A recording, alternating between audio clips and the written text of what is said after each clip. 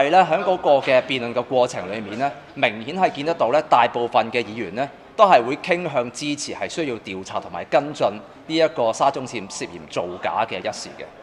誒、其中咧建制派嘅議員咧有提到嘅就係話點解佢哋唔支持嘅原因係認為由特首去主動提出成立呢一個嘅獨立調查委員會嗰個權力係會更加之大。所以咧，佢哋希望就係話啊，我哋係要等一等，咁先係俾佢哋提請。咁我嘅要求係非常之簡單嘅。雖然咧喺內會咧係被否決咗啦，咁但係根據立法會嘅議事規則咧，我哋係仲有機會係響大會提出透過 PMP 去獨立調查呢一個嘅涉嫌造假嘅事件。咁我估計咧，喺嗰個嘅即係誒個會期咧，以至到係即係嗰個行政上咧，如果我係即係提出申請嘅時候，就大概會喺七月初係會喺大會度去投票，究竟我哋立法會會唔會係成立，即根據 PNP 成立獨立調查委員會？換言之，即係有兩個禮拜嘅時間，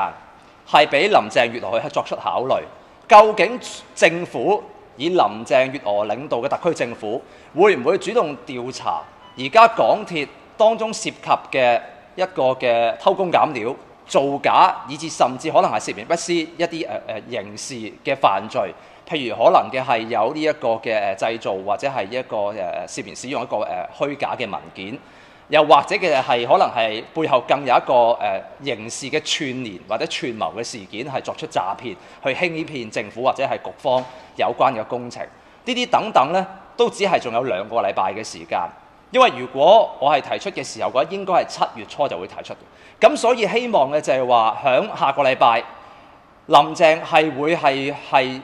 所謂嘅開誠布公，向公眾作出交代，由政府主動去提出成立獨立調查委員會。但係無論結果如何，我都係會考慮嘅就係話，響七月初係響立喺立法會大會係由我哋去提出 PMP，係去調查當中港鐵嘅沙中線涉唔涉嫌造假嘅一事，